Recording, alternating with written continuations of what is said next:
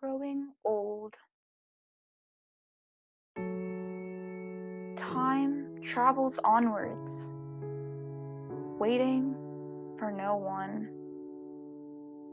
The youthful, the rich, the brave, the mighty, all being cast under its perplexing spell.